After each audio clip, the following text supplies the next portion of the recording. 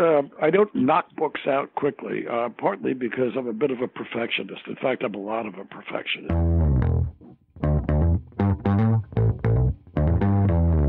You're listening to the Author Stories podcast, bringing you the story behind the stories and the storytellers. Margaret White, Terry Brooks, Sheena Kamal, Matthew Quick, JT Ellison, Walt D. Williams, Brad Thor, Cory Doctorow, Brandon Sanderson, Robin Mom, Ernest Cline, Jim Butcher, Sherwin Harris. Visit hankgarner.com for archives of all the shows. Today's guest is James Hayman. Hey, thanks for tuning in to Author Stories. I am your host, Hank Garner. You can find all of the archives of the show at hankgarner.com.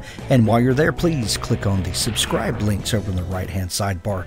You can subscribe on your Android phone, your iPhone, it's Stitcher Radio, anywhere that you listen to podcasts, you can find Author Stories. We're also on YouTube. There's a link over in the right ha- right hand sidebar as well. And you can subscribe there and never miss an episode. Today's episode is sponsored by the AIPP, the Association of Independent Publishing Professionals. If you are an indie author and you need to build a support team to help you uh, format your book, edit your book, get a cover designed for your book, the anything that an indie author needs to get their book out there, the AIPP has a member that can help you make your book your product the very best it can be. If you look in the uh, show notes at the bottom of this episode, you'll find a link to the AIPP or go to AIPPonline.org slash members and browse through the member library and find the professional to fill out your team.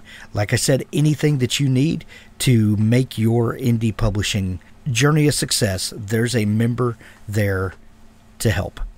It's a very simple website, very easy to navigate through. Go check out AIPPonline.org slash members today and fill out your indie author team. At the end of the show, be sure to stick around for an audiobook clip from Richard Gleaves, the Jason Crane series. Thanks for listening. He enlisted for the money. He stayed for the girl. Gateway to the Galaxy, the new series everyone is talking about, beginning with Book 1 Into the Breach.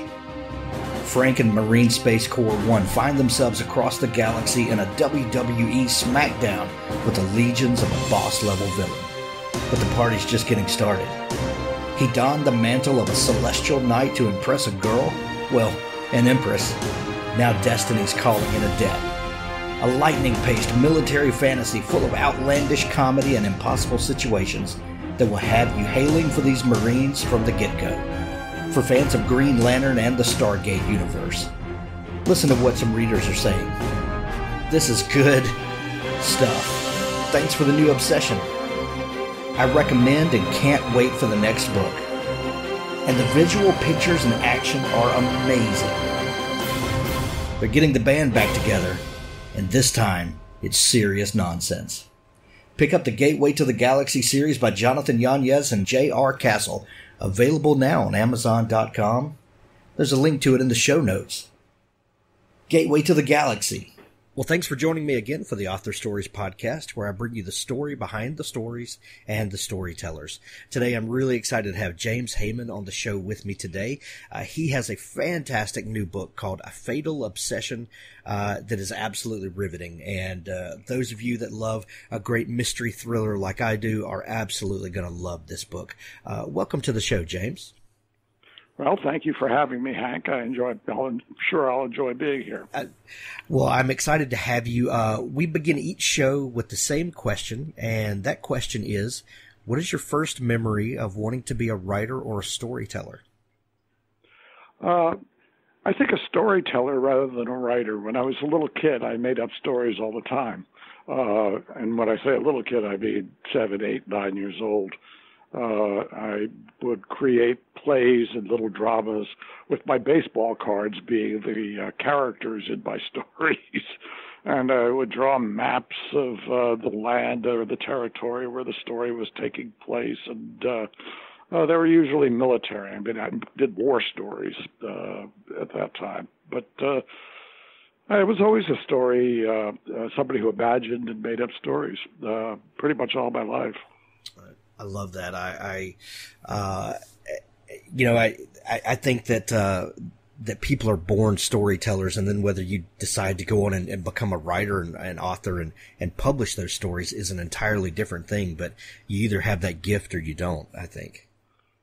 Yeah, that was what I was best at. Uh, I couldn't keep my mind from wandering off into strange places and uh, dreaming up strange characters, doing various things. Um, and sometimes it cost me in school because I wasn't paying attention to the uh, algebra or the geometry. I was uh, much more interested in uh, what people were thinking or people might be doing. So uh, I think that's pretty clear to me. Yeah, I think that's a very common thread with with people that have been on the show is that school is uh, kind of secondary to to the real stuff that was going on. yeah. I think that's very true. Yeah. Um, you said that you like to tell war stories. Um, what what other types of things did you uh, evolve into for your love of stories that you like to read and then go on to tell? The other kind of stories I like to read um, uh, were dog stories. Uh, uh there was a writer uh, many years ago named Albert Payson Terhune who wrote stories about dogs who would go off and have adventures, and he was one of my favorites. And uh, I also love to read uh, baseball stories. Uh, I still remember the title of my favorite uh, uh, book when I was like seven or eight years old, uh, "The Kid from Left Field," about uh, a kid, you know, who was a real kid, but somehow breaks into the major leagues uh, through some sort of magical ability. Love that. Um, you uh, you talk about on, on your, your website and your bio that you and your uh, your main protagonist of your books, Detective Sergeant Mike McCabe, uh, are have uh, have a lot of similarities. You, you both are native New Yorkers. Um, you went to uh, uh McCabe went to NYU Film School, and uh, and and you uh, what, where did you go to school? I have lost it. Uh, I went to college at Brown University right, in Brown, Providence. Right. Yeah. Uh, and uh, and you both. Uh, what happened? Well, first off, what what happened after you went to school? Um, you went to Brown, and but really didn't have an idea of what you wanted to do in life, did you? No, I didn't. I, I didn't have a clue. I mean, most of the uh, my classmates and fraternity brothers were doing things like going to law school or going to business school or getting jobs at banks. And so I sort of considered doing that kind of thing, but uh, the idea of it really turned me off. It just wasn't who I was. And I have to credit my brother, who was 12 years older uh, than me, uh, for saying, "Well, you ought to follow what your your talents are, and I think you're make a much better creative person than you would uh, a banker or a lawyer." Uh, and I think he was absolutely right. But I have to credit him for pushing me in that direction. So, uh, well, and and and for uh, for acknowledging the the gift of creativity and not just saying you know you you just have your head in the clouds all the time. Yeah, no, he was very encouraging. He, uh, I think he knew me as well as anyone, and uh, uh, he had gone to law school and was working on Wall Street, and he just knew that wasn't me. Uh, even though he was sort of uh, kind of like a second father to me, and my first instinct was to do what he had done, but he he knew that wasn't right, and we talked about it, and uh, I decided to try to find a job doing something creative. And and so your brother winds up on Wall Street, and and you make your way over to Madison Avenue. Uh, right. It, at the time, uh, that was, I, I think you say that that was kind of the, the only logical outlet for the creativity was to get into the advertising business.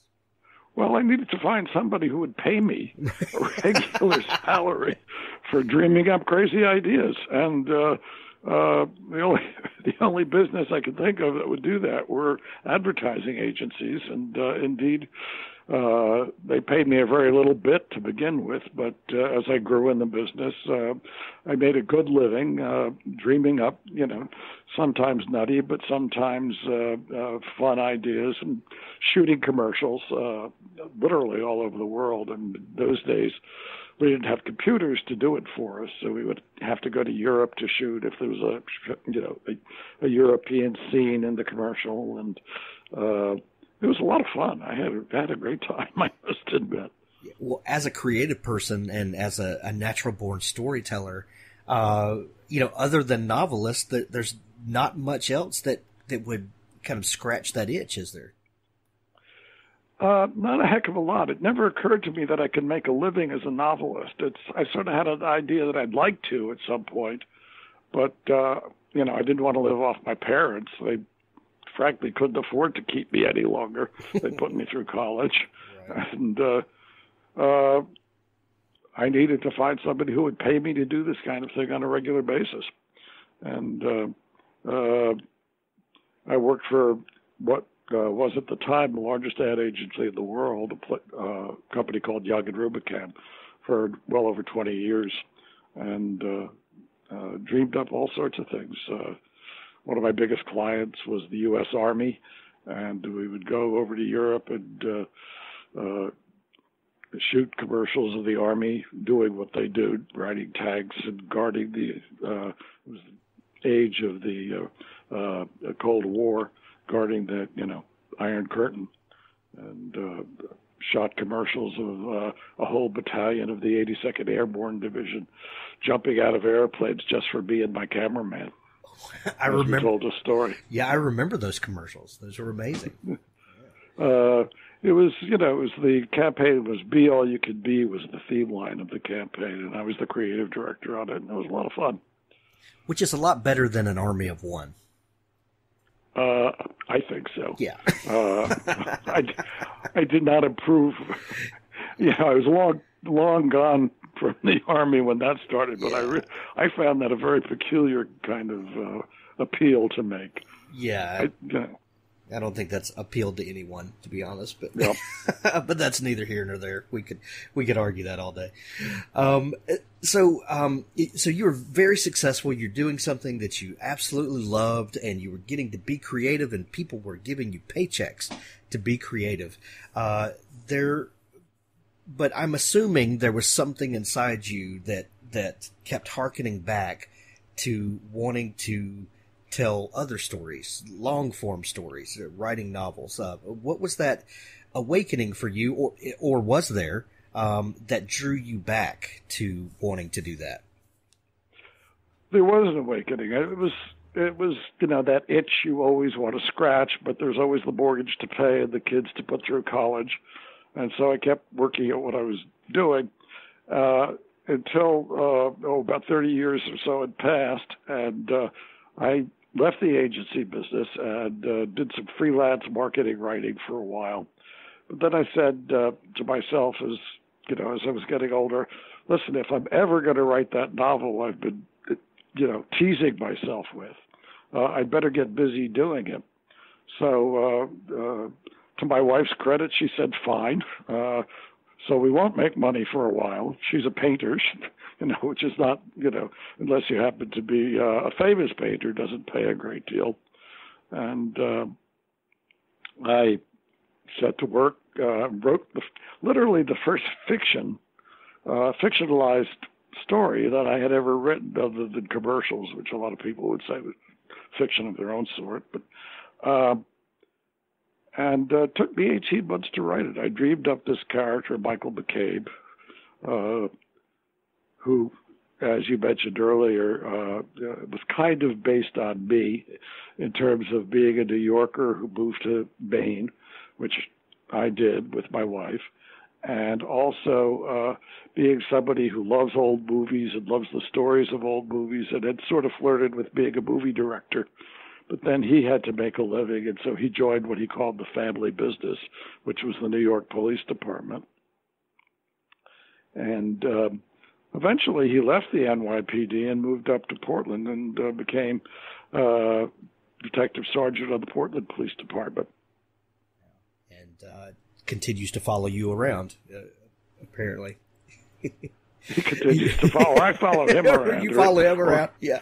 I lead him by the nose sometimes. But I love that. I love uh, that. But he often tells me where he wants to go. It's you know the old um, uh, story of uh, uh, do you uh, plan your stories out in advance, or do you sort of write them as the characters tell you what should happen next, which uh, writers often call writing by the seat of their pants or pantsers, and I'm definitely in that category. Uh, uh, I could.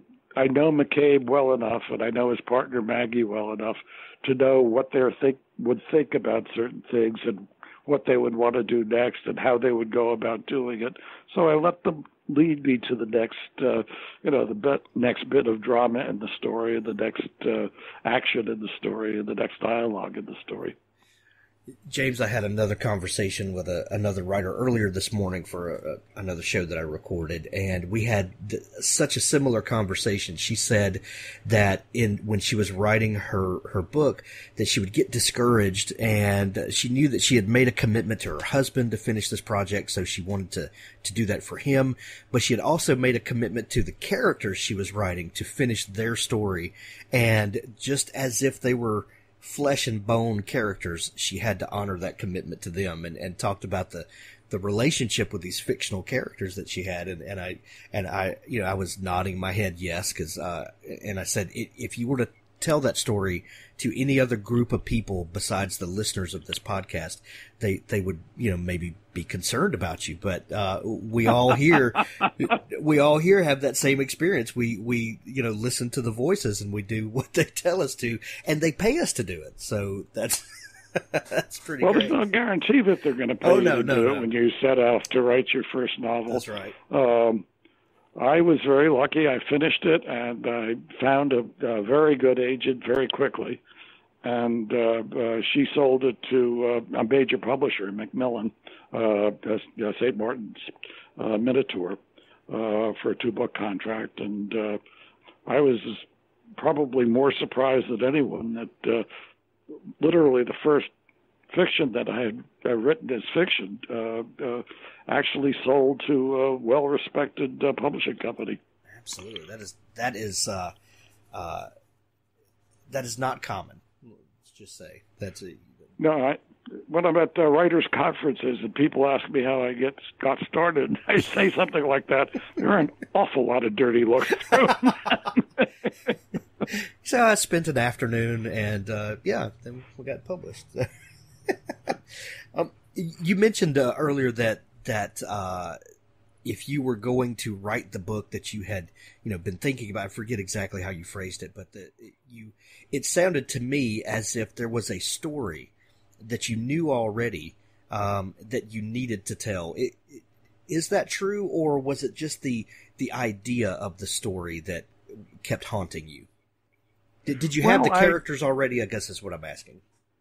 Did I have what? I'm sorry. Did, did you have the characters already, and was there a shape of story, or just the desire to? Well, I when I set off to write uh, uh, a thriller, a suspense thriller, I examined the books that I enjoyed most reading and the characters that I most enjoyed reading about.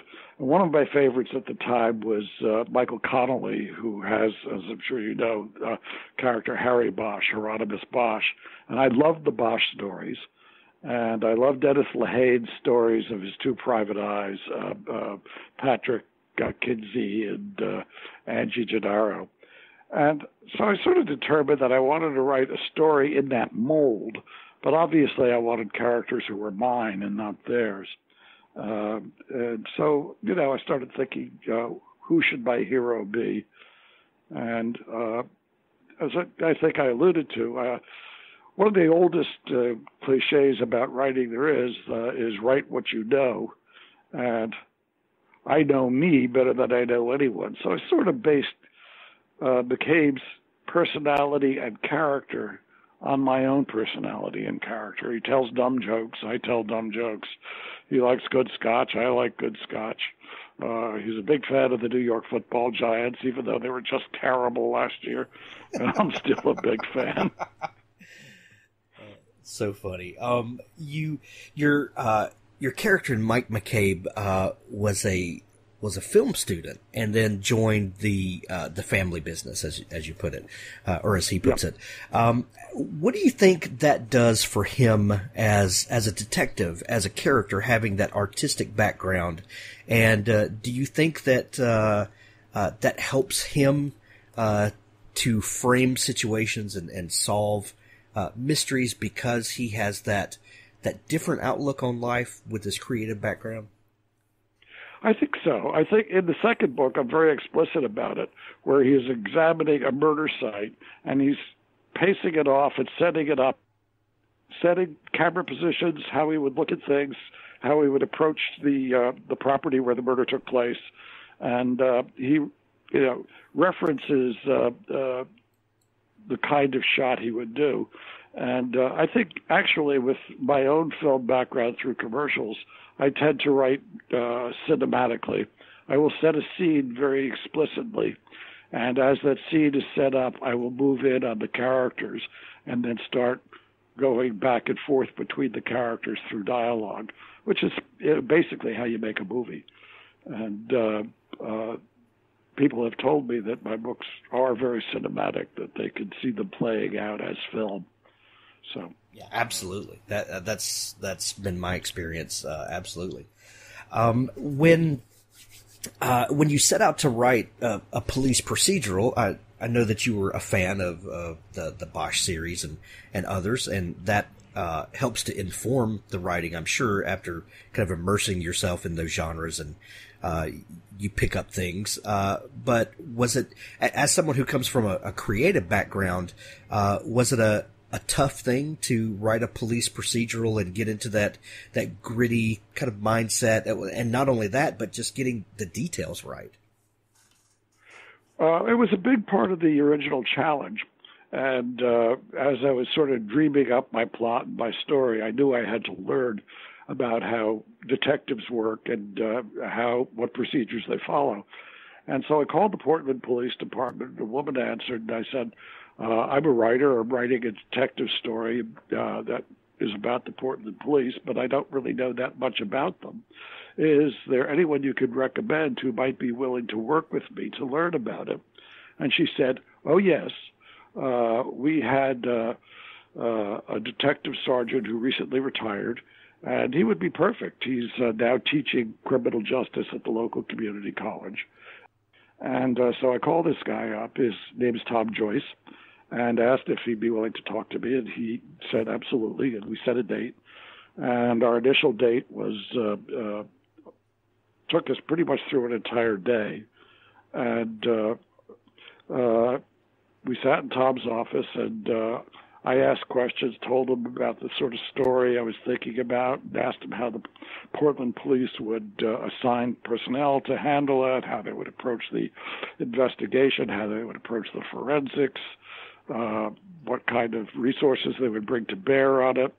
And he was terribly helpful. I mean, uh, he couldn't have been more helpful. And uh, I have worked with Tom ever since on all six of the uh, McCabe novels that I've uh, written. Uh, whenever I have a question, uh, I will email him. He always emails me back within a you know a uh, couple of hours and talk about it or uh, not infrequently, we'll go out and uh, have lunch together and we'll talk about it. He, in fact, has just written a blog, uh, which I have posted on my website, uh, about our relationship and uh, how he was delighted to work with me on it because he thought it was important that uh, writers, novelists who are writing police procedurals get the details right. And uh, so he's been very generous with his time. Well, and and my experience with uh, uh, with, with with calling on law enforcement myself to to ask questions, but also other writers I've talked to um, have a a very similar experience. Most uh, most local uh, police or, or, even the FBI. I've talked to a couple of writers who have great relationships with, with some FBI offices. Uh, a lot of times they're they're more than happy to answer questions because uh, they they get you know, they're, they're, um, you know, the, the subject of a lot of news, uh, you know, articles and stories. Get it and, right. Yeah, yeah, they, they, they would much rather have the story right. And, right. uh, and, and yeah, that, that's been my experience is they're, they're more than happy, uh, to try to, uh, you know, at least help you get the facts right.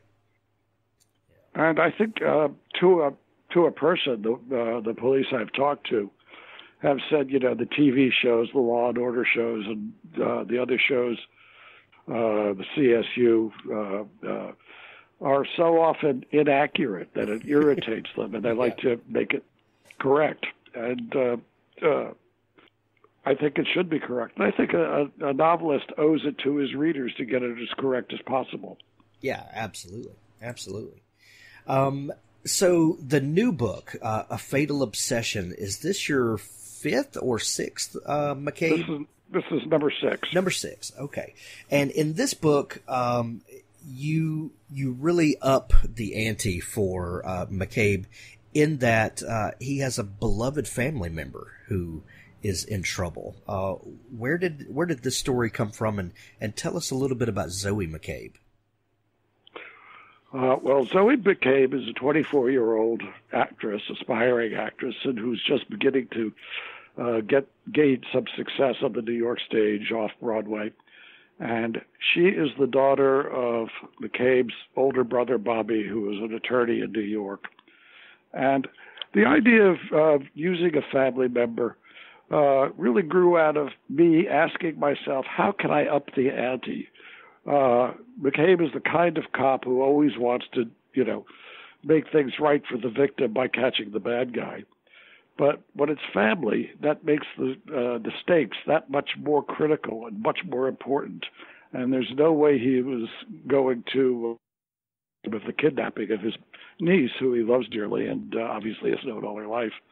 Uh, and uh, that you know, I, I think the best way to put it is it just upped the ante for him. It made it even more important than it normally was to catch the bad guy.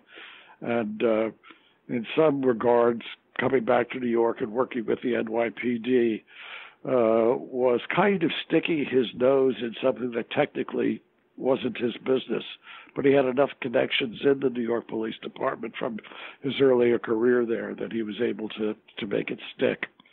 And uh, uh, it was fun for me, right? You know, I had written five books uh, basically about the Portland Police Department. It was fun for me to, in a sense, go home to New York in the sixth novel. Uh, and it's uh, obviously a city I know very well, having been born and raised there. And uh, uh, I enjoyed, you know, writing in a different setting.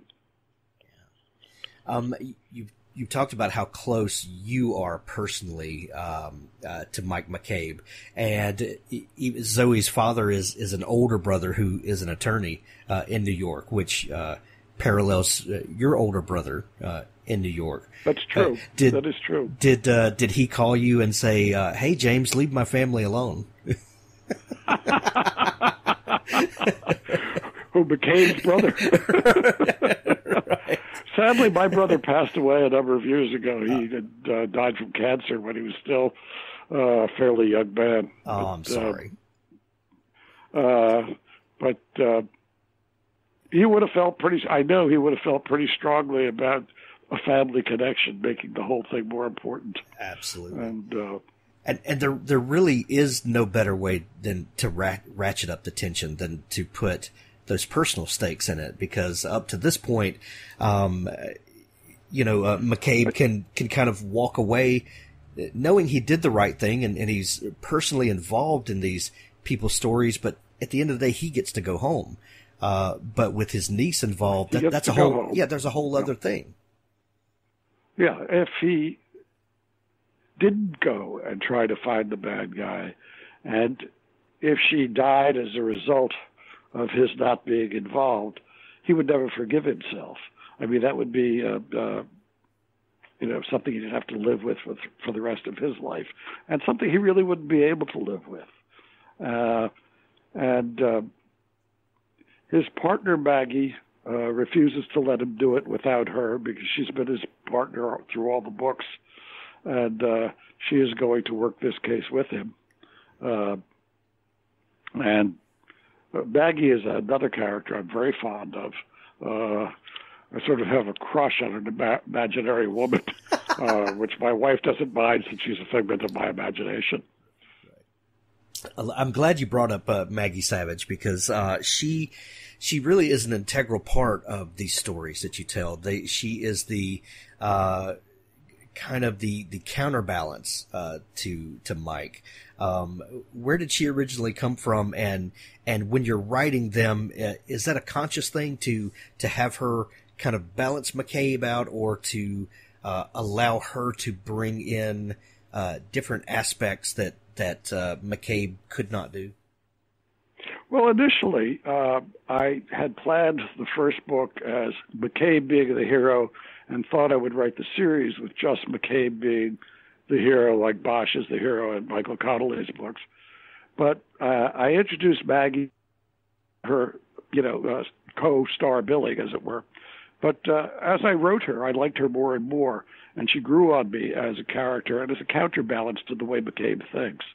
And uh, it didn't take me very long to realize that it made a lot of sense to have uh, a co-star, a female co-star, uh, who would work with him and over the course of the series develop a very close personal relationship with him. After having written six books in the series, and and now uh, the characters of, uh, of McCabe and, and, Savage are are very well set, and uh, for readers, uh, for sure, we can drop right into the story and pick up what's going on. And I would imagine uh, for the writer, for you, uh, it it probably is. You know, there's there's a lot less world building that you need to do, I guess is probably a good way of saying it because we've got history with these characters.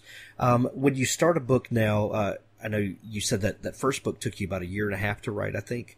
Uh, what is a production schedule like on, on a new book? yeah.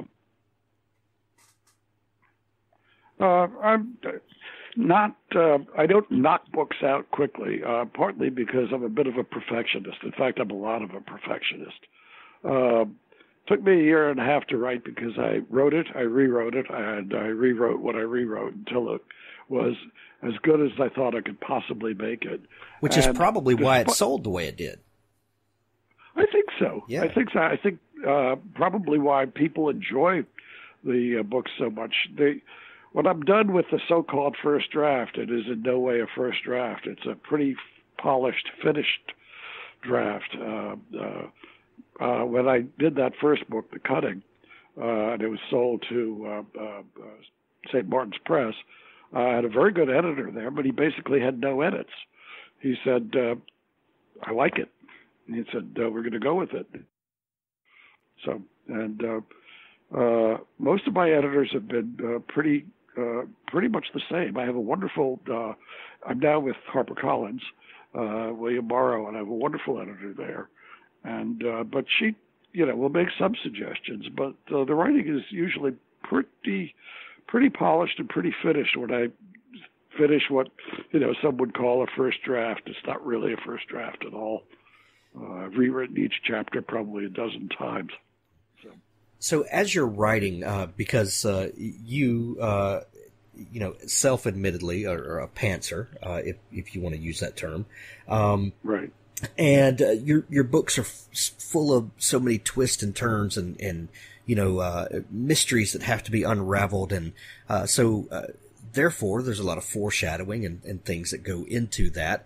Um, as you're writing and and you're figuring the story out are you going back and editing those previous chapters to you know maybe I, I need to put a hint in here. I need to allude to something here?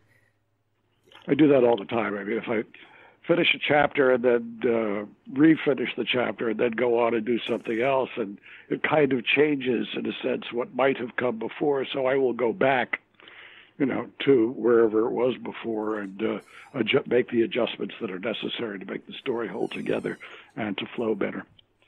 Gotcha. Uh, so that first draft is kind of a living draft as as it kind of oh, very much so. yeah grows. Um, that's fantastic. Well, the the new book is uh, is amazing. It's called A Fatal Obsession. When uh, when this episode goes out, it's available everywhere. Uh, James, I'm a huge fan. Uh, thank you so much for taking time to come on the show today. Well, thank you very, very much, Hank, for having me. I uh, enjoy talking about writing, obviously, and uh, I'm glad you've enjoyed the book. Thanks for listening to the Author Stories podcast. For more great author interviews like this one, go to hankgarner.com and dig through the archives. There's something there I know you'll love. Now stay tuned for a special audio clip from Richard Gleaves' The Jason Crane series. Natalie, it's Artie. Listen, I'm going to be late for dinner. I ran out of gas on. He climbed out of the car and peered at the sign. On Sleepy Hollow Road. There's nothing but trees, and I have to find a gas station. Save me a drumstick. He hung up his cell and stuck it in his pocket, zipping his jacket. He was going to have to walk and pray somebody picked him up. A sliver of crescent moon hung above, surrounded by clouds, like a grinning drunk asleep in a puddle.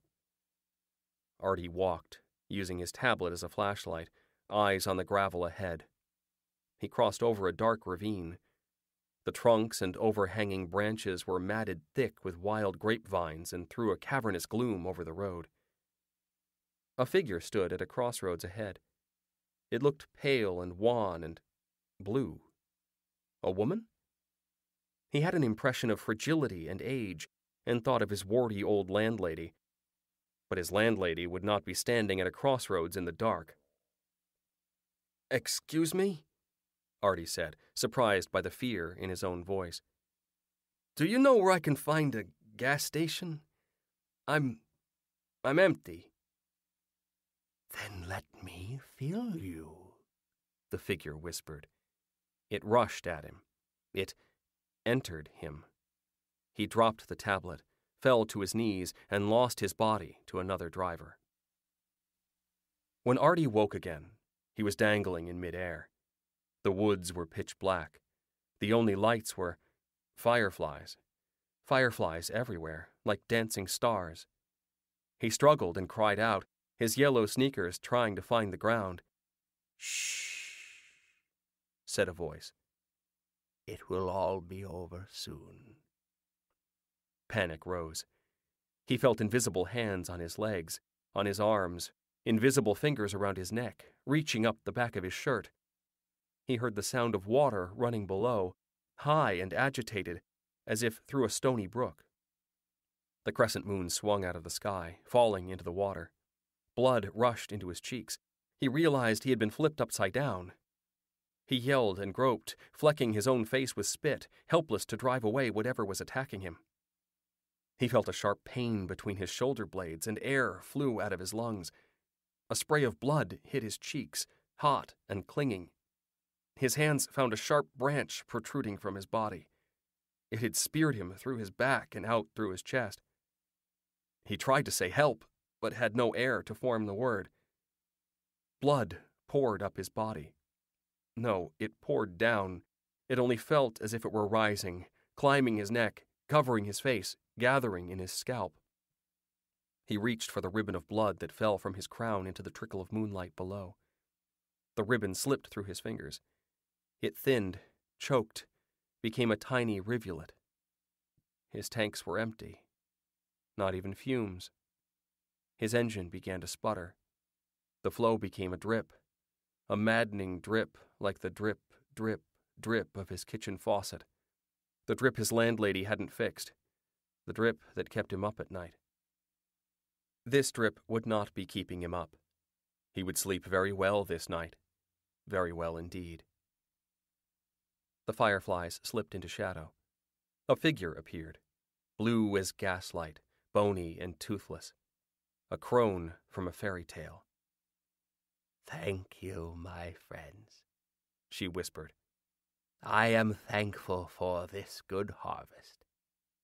She neared, scrutinized him with manic intensity, and turned away, muttering to herself in a sing song rhythm as she too vanished into the trees. A man may toil from sun to sun, but a woman's work is never done.